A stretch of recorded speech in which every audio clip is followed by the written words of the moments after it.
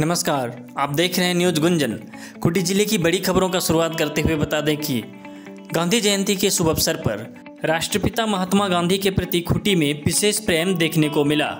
बता दें कि खुटी के शांतिपुरी निवासी रंजन बालमूचो ने गांधी जी के प्रति प्रेम दिखाते हुए गांधी जी का वेश धरकर खुटी के विभिन्न चौक चौराहों पर पैदल यात्रा की।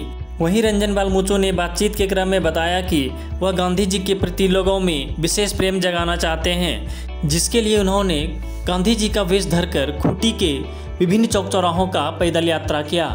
अगली खबरों में बता दें कि खूटी स्थित सीआरपीएफ के 94 बटालियन द्वारा आज़ादी का अमृत महोत्सव के समापन के शुभ अवसर पर 10 किलोमीटर की दौड़ लगाई गई। इसी क्रम में बता दें कि आज़ादी का अमृत महोत्सव के प्रारंभ से लेकर समापन तक 94 बटालियन द्वारा कुल 140 किलोमीटर की दौड़ लगाई गई। इस कार्यक्रम में बटालियन के कमांडेंट राधे श्याम सिंह, उप कमांडेंट राणा प्रताप यादव और सूबेदार मेजर राजेश कुमार सिंह भी उपस्थित रहे। खबरों में आगे बताते कि गांधी जयंती के अवसर पर जिला विधिक सेवा प्राधिकार के तत्वाधान में पद यात्रा का आयोजन किया गया।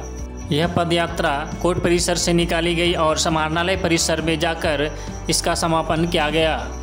खबरों में आगे बता दें कि कांग्रेस सेवा दल के जिला अध्यक्ष नरेश तिर्की और कांग्रेस के आदिवासी जिला अध्यक्ष विल्सन तोपनो द्वारा संयुक्त रूप से खुट्टी प्रखंड क्षेत्र के लांदू पंचायत अंतर्गत ग्राम जरूई डी का दौरा किया गया, जहाँ विभिन्न समस्याओं से अवगत होते हुए उन्होंने ग्रामीणों को गाँव के समस्याओं का समाधान कराने का आश्वासन दिया।